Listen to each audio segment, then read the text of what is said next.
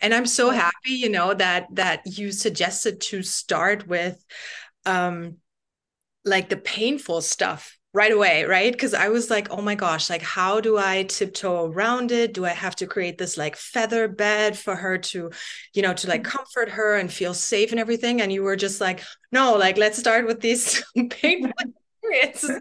Great. I'm German, like that's what we do. We're very direct, right? And yeah, yeah I'm so glad that you suggested that. And I honestly just really want to like dive in because uh, I quickly want to tell the people how I came across your work because I had purchased like a course or whatever of a fellow uh, coach and mentor, and I saw you in one of her coaching calls, right? The content. Rebecca, amazing. And I don't know, the way you like articulated yourself and the way you spoke also about vaginismus, which I've never, I think you're like the first person ever in my entire life that I had seen talking about this very sensitive topic in such like, um, just in such a like a normal way. You were just it, it, was very like free the way you put your words and i was just like wow like that's so fascinating. I've never experienced that you know and I, I i told you like i have a story that very much relates to it and i always felt very like alone and i was feeling like i'm doing this you know by myself. It was such a shameful like path in a way also you know? So it, it was very it felt very liberated and that absolutely fascinated me. So yeah and then i really knew like i had to hit you up and really yeah dive into this and also like normalize this um yeah just this like experience and then also the transformation that obviously came with it because you sitting in front of me right now as a it seems like a very liberated woman and also the way you express on social media. And um yeah so can you take us back a little bit to that? Because it hasn't always been like that right? It was a there was a time in your life that was a little bit more challenging regarding yeah. the relationship of your yeah with your lower body. Absolutely this is a conversation that lives in the dark nooks and crannies of the world, unfortunately. And I feel like it is our duty. Like we've just kind of been pulled into this part of life to be in expression around these otherwise really shameful pieces of life. Because we've all grown up in a shame steeped culture around sex and pleasure and also in the patriarchal sort of understanding of what it means to be a woman in the world. So here we go. Let's go back to the very first attempt at having PIV sex. And I like to say PIV, penis and vagina sex, because there's so many other forms of sex. But, you know, unfortunately, in our society, we kind of see this as the holy grail and as the only form of sex.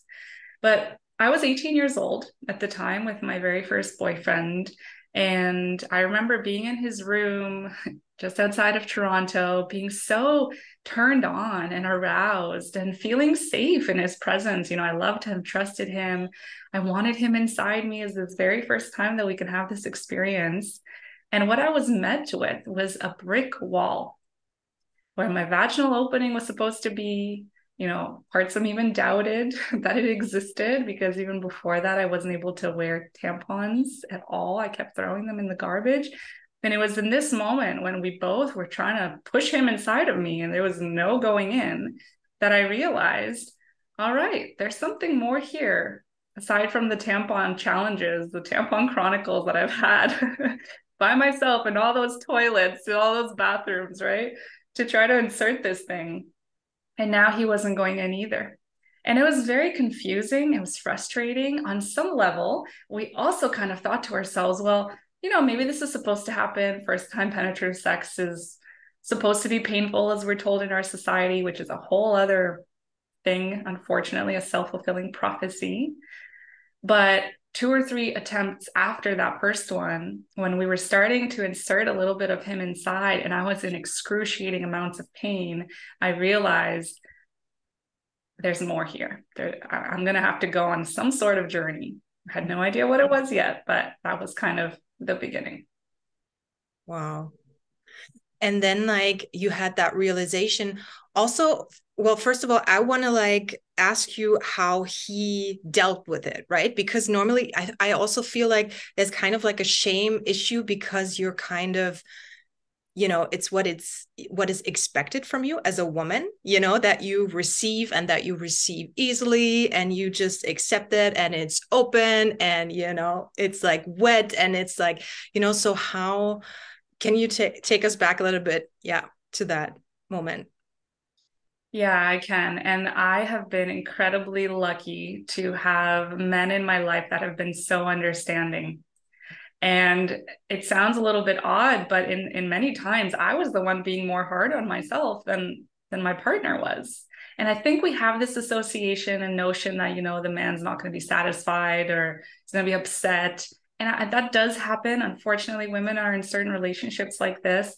But I hope that my story is an example of the fact that there are so many partners out there that are willing to go through anything that it takes to you know be in relationship with us have us in their lives and, and be in our lives. And that particular example was a beautiful example like that. Is very understanding. And in fact our story included us telling his parents about what we're going through because that was one access point to being able to get uh, sex therapy. And i went to two appointments of sex therapy and it's a whole other story in itself because of the way that I personally wasn't ready for this kind of deep dive, but also the kinds of recommendations that I received. So that conversation was very open. And uh, even after that, being in other long term relationships, I was met with very supportive partners. Yeah. At the same time, you know, vaginismus was one big reason of why we ended our relationship. There are so many layers to it because of how we feel and how we identify as whether or not we're a good girlfriend. And I remember thinking to myself, well, he deserves better. This is the time of his life to be adventurous and to have all the sex that he wants. And like, I'm not able to provide that. And that led to additional cycles of pain and shame spirals uh, and backs and back and forth of like, oh no, we should break up and let's not. And then he kind of maybe brings up the question and I say, let's not. And it was years later that we ended that relationship. But um, it started off in a beautiful way.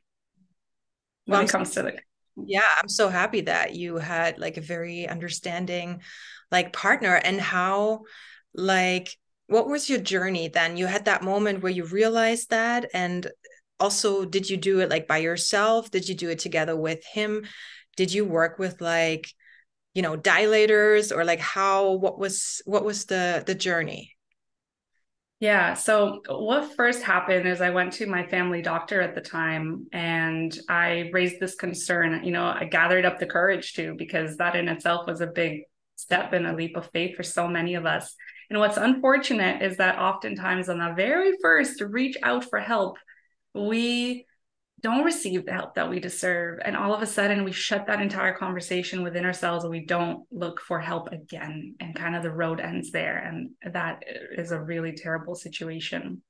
In my case, the very first time I reached out, the recommendation that I received was, oh, well, your body just must not be ready for sex yet. Like you should just wait. That was it. The next component of this, I don't know if it happened at the same time or the second time I came back, but he told me, Well, why don't you try to drink a glass of wine and relax? and this is, it's funny, right? But that's what we hear as the very first thing. And it's like, wait a second, you think I haven't tried that? You think I haven't been blackout drunk in order to have penetrative sex? Many of us have that experience where we get high and we, we try to numb out, right? Because we just want to be able to do it. Mm. And those are the lengths that we go to. Um, so, you know, being disappointed by the recommendations that I was receiving, thankfully, I put my foot down. I got a requisition to go to a gynecologist that also didn't lead to any answers. Vaginismus was not mentioned there as well. Uh, a little bit of a pelvic exam was done, which seemed to go all right, but still there was that sense of tightness and a whole lot more bracing and tightness when it actually came down to having penetrative sex. So, next up, visiting a sex therapist was the very first time that my endless Google searches late at night, where I discovered the word vaginismus, was actually confirmed by this woman. And that gave me a sense of relief. Uh, oftentimes it's a relief and a heaviness at the same time that we experience when we get such a diagnosis because now it's like all right i know what it is but i also know what it is and here we go we got to do the work for it and that was the first time that i was recommended to use dilators so dilators are this tool this set of tools like a tampon shape or a dildo shape, more so like a tam- tampon rather than a dildo, unfortunately, which in itself shows the shame steeped culture we have around the shape of the penis. And I was given a two pager of instructions on how to use them. Mostly that went, you know, you got to use the first one, maybe breathe and relax, but definitely not enough of the emotional, the erotic exploration that's necessary. So I found myself laying in my bed many times over and trigger warning here, I'm about to use the R word, that I felt like I was raping myself because I was pushing through that pain, feeling like if this dilator just sits in me for long enough, then my muscles are going to be able to relax and allow for this to happen in a pain free kind of way. That was a really deep experience that I, I know resonates with so many people. And it led to more than four or five occasions of feeling like I had completely given up. I put those dilators back where I felt like they belonged in the darkness of my closet to gather dust. and I just kind of went on with my life to try to sweep vaginismus under the rug. And a lot of a lot of us do that because it's the only way that we can feel like we can manage through that emotional confusion. We just kind of get busy. And that in itself may actually be part of the cause for such an experience. Uh, and maybe we'll get into talking about those layers too. But what resonates and what feels like, you know, important or more memorable from from what I shared so far? Yeah. It's so interesting um, because I told you like I've never shared this like on the air or like on the internet or like anywhere. This is the first time I'm ever like saying that out loud, right? That uh, I can so relate to this uh, story and also the dilator story and uh, the brick wall that you were talking about. Um, and it just you saw me like I'm tearing up a little bit because it's I'm just so happy that you know for me it almost feels like the dots are connecting a little bit. Like when you always feel like you're the only person who experiences that and you you don't dare to like talk about it. And people now you know they see me as someone that is very like you know sensual and sexually liberated but that has been such a long journey you know and i know you can relate. Like and there's so much work that goes into it. And like you the dialogue that you have with your body it's just such an intimate experience and at the same time it's like there's so much like shame you don't talk about it then there's pain and then it's like why is it not working you know with the the same like the tampon chronicles. Oh my god like you know?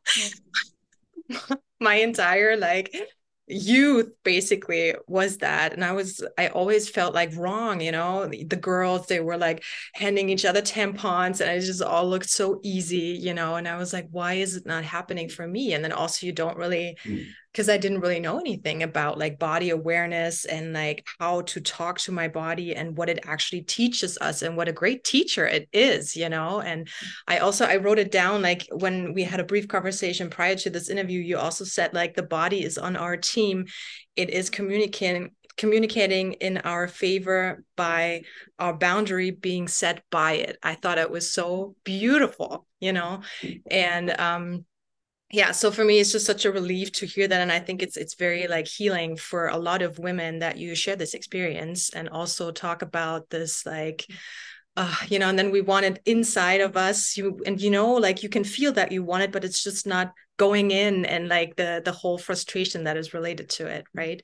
So and then maybe you can talk a little bit about like this dialogue that you had with your body and how like the the intimate conversation maybe that that you started back then yeah absolutely and thank you so much for sharing and for doing the work that you do today that was born out of the pain that yeah. flourished into your purpose it's beautiful and we serve as permission slips for so many others in the world, you know, women and men to open up about th- these conversations that we have, unfortunately, in private and or don't have at all. um, and it's true that we really go to such great lengths to try to prove ourselves as well, like our worth as women and as our partners. It was a little bit later in my journey when I was in my second long term relationship that I remember holding my partner really close to me while he was inside me, but I was still gritting through pain at that time, holding him to me so that he doesn't see the pain written all over my face. So he doesn't see the tears starting to stream down my eyes. And that that in itself shows like how much we want to please and prove ourselves. And of course we love our partners, but we we don't honor our own experience uh, for the ability to do what we're supposed to do as girlfriends. Mm-hmm. Mm-hmm. So that's kind of where the conversation with the body begins. Uh, in in a certain way, it's become it's begun a lot uh, sooner than that in unconscious ways. But when we start to bring the unconscious to the conscious mind, and we start to understand why she might be acting this way, so much opens up into our awareness. And this is the very reason that I like to call vaginismus a protective body response rather than what we refer to in our society as a sexual dysfunction, which relates to the identity that we take on to as dysfunctional because we have a sexual dysfunction. It's incredibly disempowering. So, referring to vaginismus as really what it is of a protective body response is a whole mindset shift around it, which I feel really helps us in understanding vaginismus. Because just as we might get sand thrown at our eye, at our face by someone, right? We're going to close our eyes as soon as we realize that this danger is approaching us. We consciously and subconsciously know that the sand coming towards our face is not a thing we, we want. and in the experience of vaginismus, it's more so that the body subconsciously knows that it is perceiving this thing this is dangerous right? This is dangerous. It's a perceived danger to it. And therefore what does it do? Oh well just like the eye it shuts down. Nope this isn't coming in. Like we're going to protect ourselves. This is our greatest responsibility. This is what we do. And we close. So our body says no for us. And a really pivotal moment in the dilating journey for example which by the way is one of the last things we have to do. One of the last things we get to do as we introduce penetration as a safe and pleasurable thing. Before that, there's the emotional and erotic components. But a really big shift happens when we lay down to dilate, maybe 20 times over. We're in communication with our body and we actually hear our body saying, I don't feel safe right now. I don't want to dilate today. I don't want this. I don't desire this. And we actually honor that no. So 20 times over, we maybe have the intention to dilate, but we say, I'm not going to. Thank you, body. I'm listening to you. What might happen on that 21st time is that our vagina, she looks up at us from down there and she sees, oh my goodness, Katrin is consistently saying no for me. I don't have to do that anymore she's got us. She holds this responsibility. She's taking care of me. And that is the moment in which she actually finally starts to feel safe and lets go of all of this heaviness, responsibility of like needing to close for us. And it's only with that safety that curiosity can then start to bubble up. That's how we have our sexual desire start to come back. Because mine was at a big fat zero at a really large portion of my life because I was dreading where I was going to lead, right? And it is that safety and curiosity then that makes space for, ooh, I wonder what would happen if I explore over here. Or like, oh, this has felt good before. Why don't we have that again? And we make our way into pleasure. So safety, curiosity, and pleasure, but only after we take back our no. Mm. And we have to continuously be in that beautiful relationship to listen to our vulva, our vagina, and hear her no you got to communicate with her. That's yeah. kind of how it how it goes. And so how can we for for like women because for us i feel like you know also like my intuition is it's so strong and so powerful and i'm so connected to it and i can sense that with you too. But sometimes you know we have women that feel okay they, they feel that no and they maybe like want to change something and they want to communicate more easily with their body like where do they like start? Like how can you dive a little bit more you know yeah with a little bit more awareness into this? Absolutely. Wonderful question because you're right that's a pretty big leap to make from like not being in that relationship to then all of a sudden we're going into deep dive of like being really aware of those subtle sensations like that's a big jump so what often is really supportive in leading us there is starting to practice some of those skills of putting up boundaries having healthy experience of saying no in other areas of the world, other areas of our lives. Boundary setting starts outside of the bedroom. And I feel like I feel like part of my genius zone in the way that I connect the dots on things is helping me connect the dots too on like sex, love, relationships, and even entrepreneurship and business. Right there are so many areas of life in which I was never taught to say no. Nobody really ever taught us that. Have you ever been celebrated for saying no about something? Like, I'm not available for that, or I don't want to go to this party. No.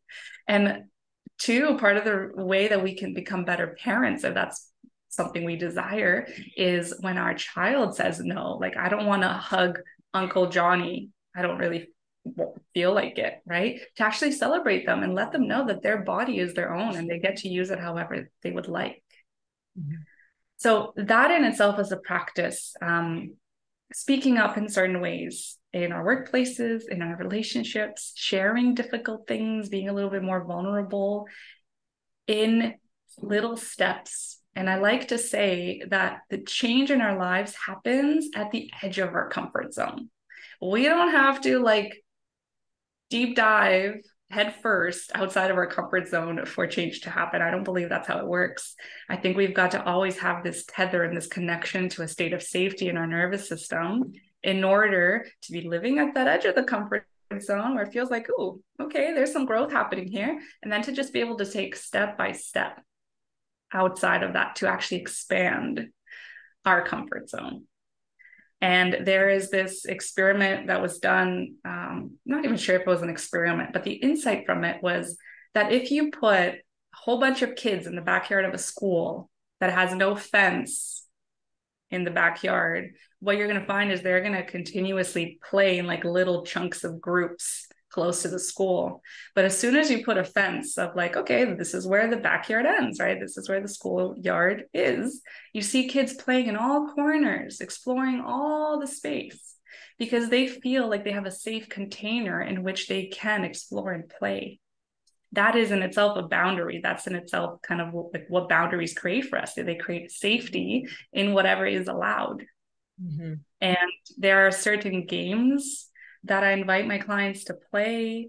Uh, we'd explore the Wheel of Consent, which is a concept created by Betty Martin, to see how often we're actually the givers of pleasure in our relationship and how we haven't really practiced receiving fully in a way that we're receiving something just for us without having to please back.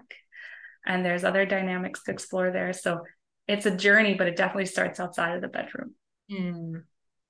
And I feel it's also like it reminds me of, you know, a time where I was very much like mm, where I needed to control everything, you know, and where I um because also like the the women in my family they are amazing like they get shit done you know but it's also because they are very much in their masculine energy and just do and they're like i want this i know this this is a yes this is a no like they're very clear very like there they have this like lioness energy and what i had to learn and i'm so grateful for it uh, during the past year during the past years was more this like vulnerability and just really like being able to receive not only in the bedroom you know it shared like it, it, it changed my my my vaginismus story like completely when i you know op- opened myself up to receiving not only men but in general to be like it, it, introduce this playfulness a little bit more into my life this cu- curiosity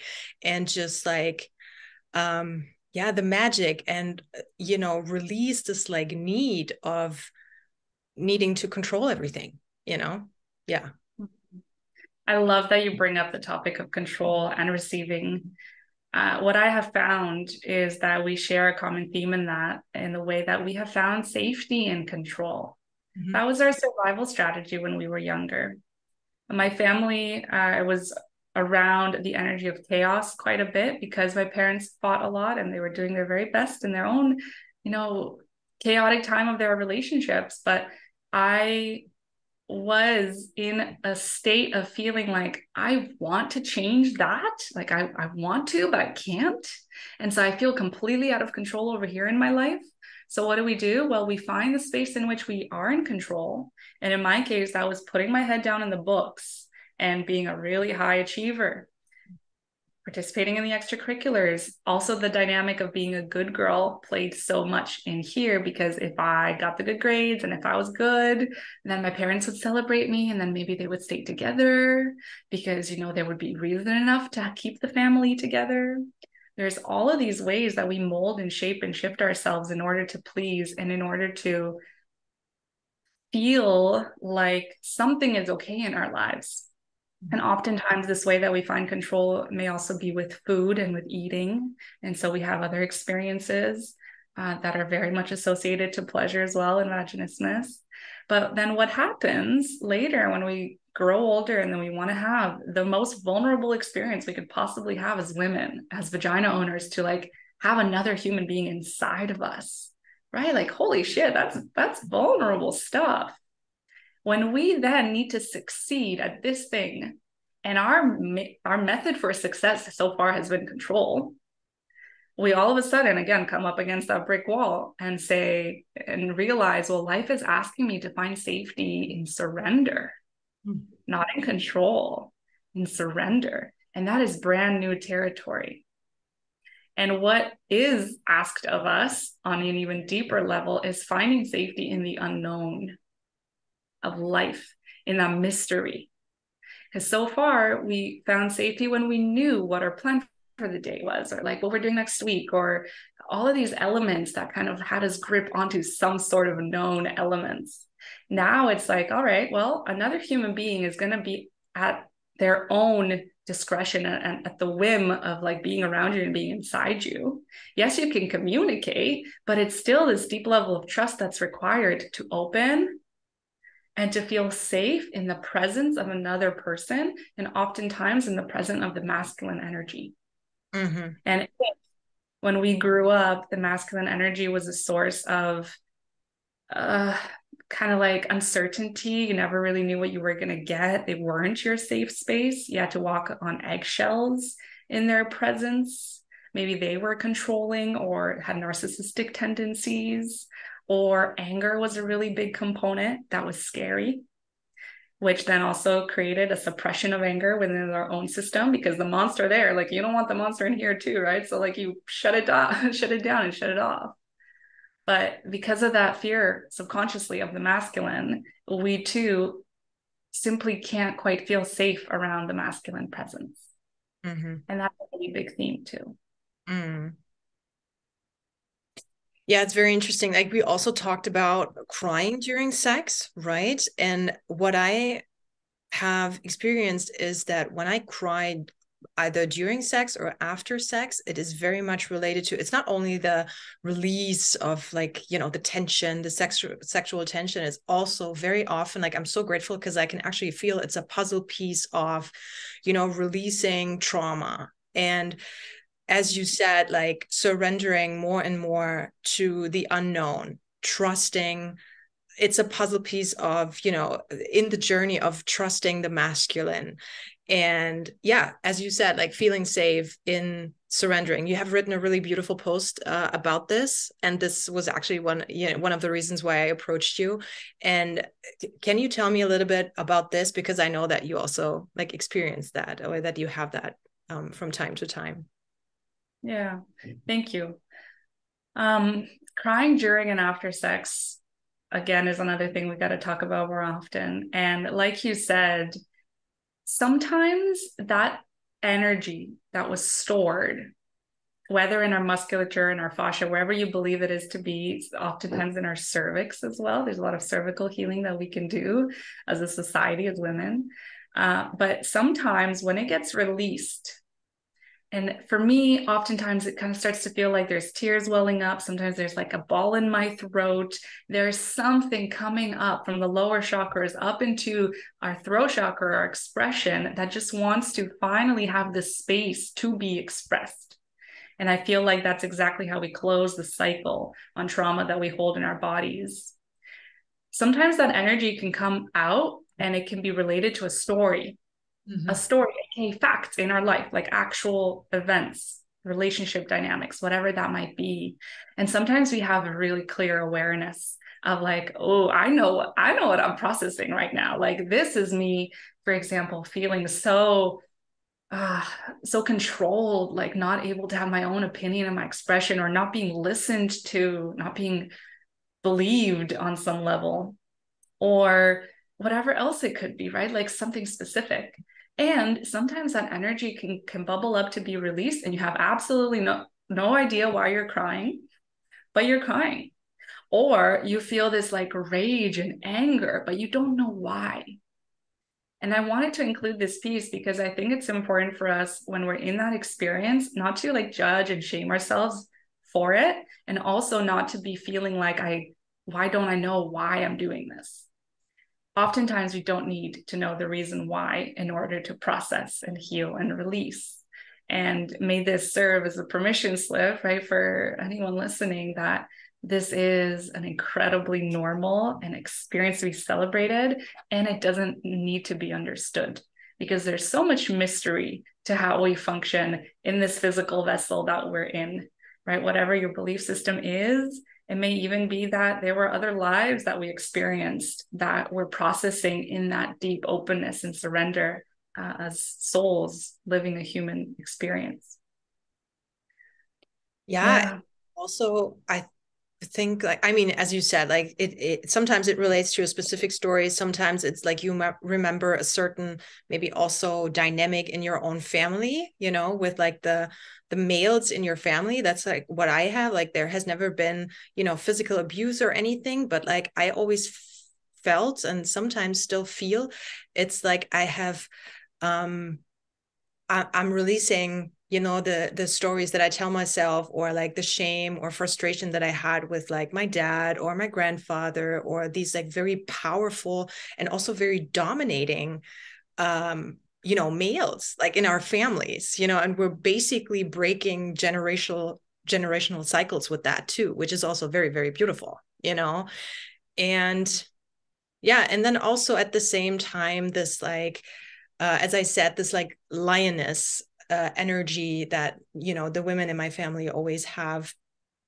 You know i mean they they allow other people to cry but they don't want um they don't don't want to be seen you know when they cry like they don't want to show their vulnerability too much. And i feel like every time i allow myself to cry during sex after sex and allow myself you know that space it's also like healing for the entire uh, lineage you know? So yeah it's really beautiful and it's it moves me and i i almost feel like we're such like peace warriors you know that we do this work and um yeah it just really breaks like generational cycles. Yeah. It really does. Those patterns of the alpha woman being the only woman that could exist that could like really be at the forefront of what a woman is supposed to be like is exactly what we're called to shift and change, I believe, in, in our existence.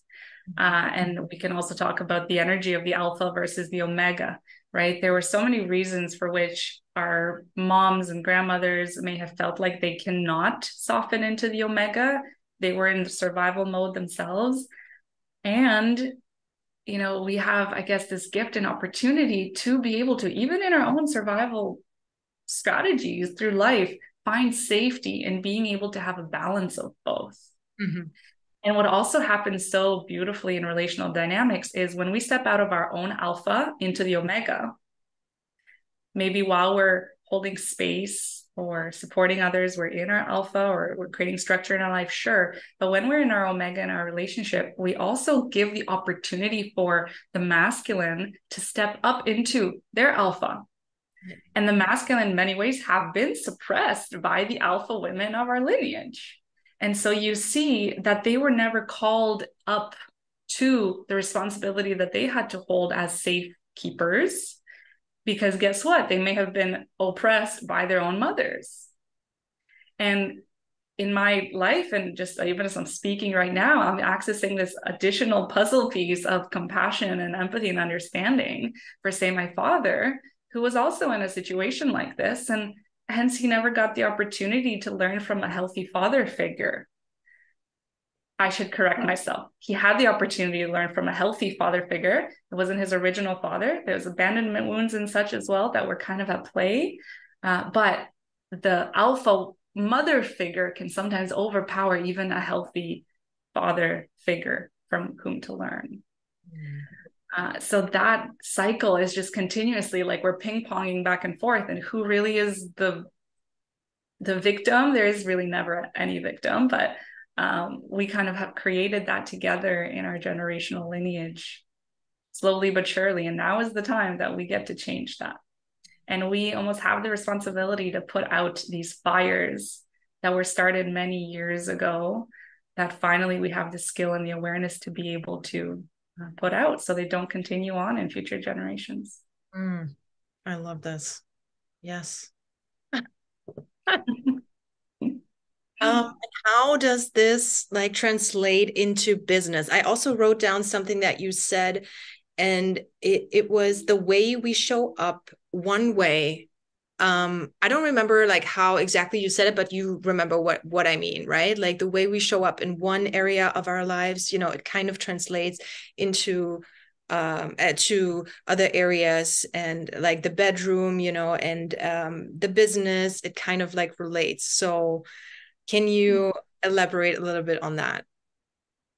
Yeah, I really like even bringing in this concept that everything is fractal, which means when we zoom into something, we see the same pattern. And then when we zoom out of it, we see the same pattern, kind of like atoms and electrons circling the atom. It's the very same thing with like moon circling the planet, right? So we zoom out and we zoom in, it's kind of the same. Mm-hmm. And in our lives, the way that we show up in one area of life uh, also gives us a lot of insight on how we show up in every other component of life as well. So when we make certain growth steps in, let's say, the way that we set boundaries with our family, that's going to translate very directly in exactly how we might set boundaries in the bedroom, how we might speak up in the bedroom uh, how we create a structure in how we lead someone through a journey, like one of a, a client, right, that we're supporting, is also giving us weight and being able to create a similar structure for ourselves in a friendship that feels a little bit sticky, for example.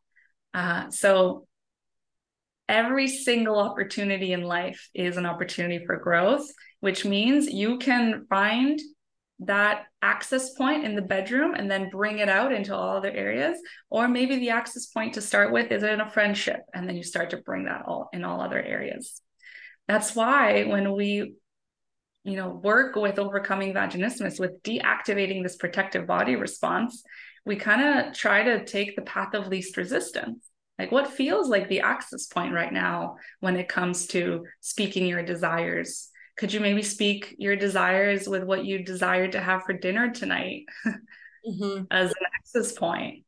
And then that desire therefore can start to be concrete in your mind of like oh i got that and it was okay for me to ask for that well what else is it okay for me to ask for what if i get to ask for some more time off like in my workspace Cool. Okay. Well, how about I ask for like some G, G area stimulation in the bedroom so that I can maybe explore G spot orgasms? Like that's how how it builds up. Mm-hmm.